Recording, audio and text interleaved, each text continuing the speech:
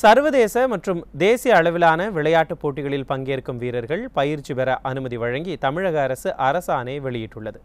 இது குறித்து அரசு வெளியிட்டுள்ள செய்திக்குறிப்பில் உடற்பயிற்சி கூடங்கள் மற்றும் நீச்சல் பயிற்சிகளை தவிர்த்து மீதமுள்ள விளையாட்டு பயிற்சிகளுக்கு அனுமதி வழங்கப்படுவதாக தெரிவிக்கப்பட்டுள்ளது.